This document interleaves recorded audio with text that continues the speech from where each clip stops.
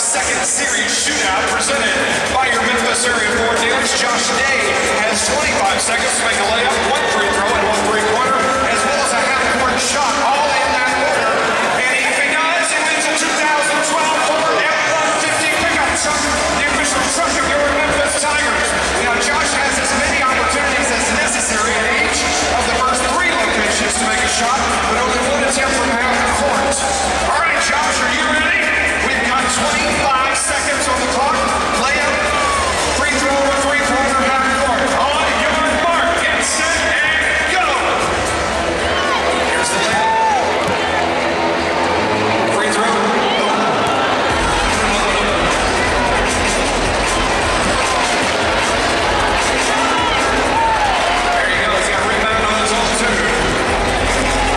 three-run shot.